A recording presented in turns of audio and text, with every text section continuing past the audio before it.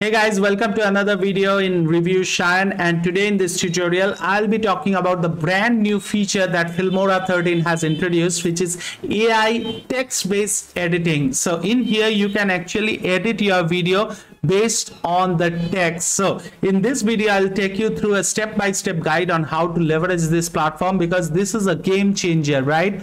And the way that AI has evolved, it's it has been a real real game changer.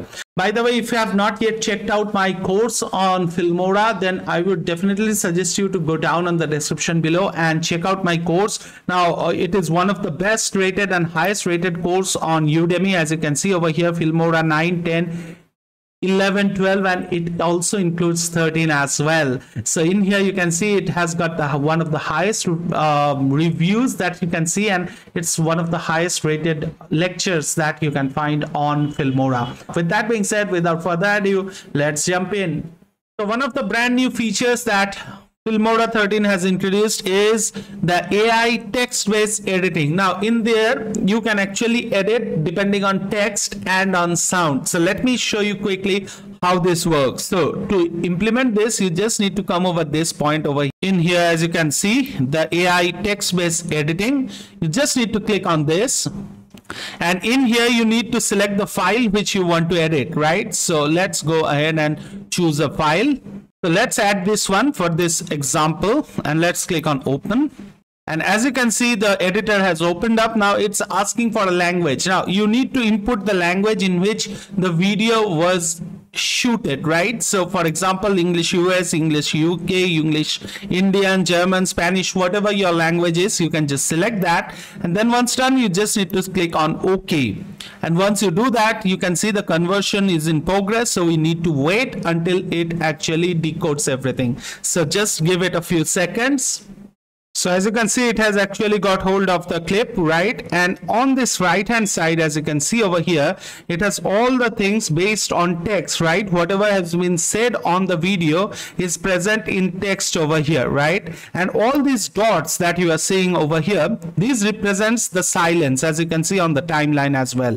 So uh, that means if you particularly want to erase one of your words. Say for example anybody has a kind of repetition in their words. Say somebody says right say somebody says is it okay? Or something like that right? Those filler words or something like that that you want to remove from your videos that is the end videos. But what happens is that when you try to remove them via cutting your video like from this part you just need to make a split then you need to understand where exactly that word ends then you need to make a split and sometimes it results in hard cut as well.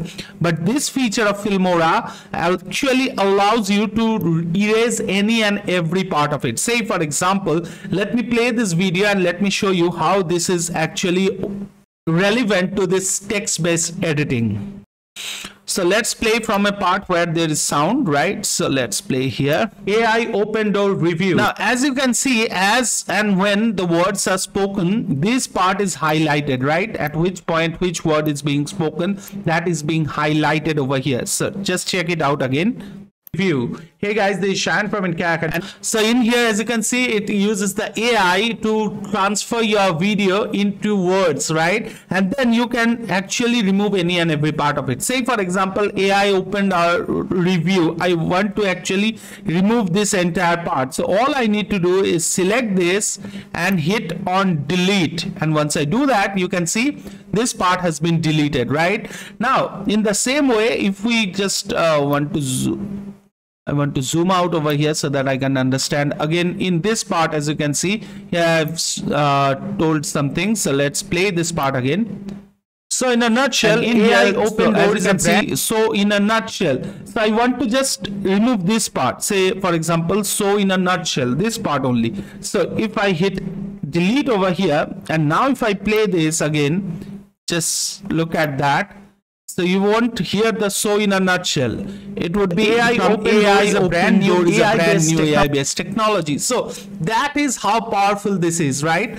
Plus it gives you this ability to actually delete all the silent clips if we see this uh, timeline over here if we see this uh, let me zoom it out so that you can see it more you can see over here there are a ton of empty places. These are all silent parts right? So if i want to delete these silent parts all at a time all that i need to do is delete the silent clips. I can just click over here and it will delete all of them at one go. Or if i want to actually delete any particular silence clip say for example the part before this hello i just want to highlight this. And as you can see on the timeline the part has been highlighted. Now if i hit on delete it will actually delete that part right? So everything is doable again if i hit on delete all silent clip you can see all the silent clips have been deleted. So this is how easy editing has begun.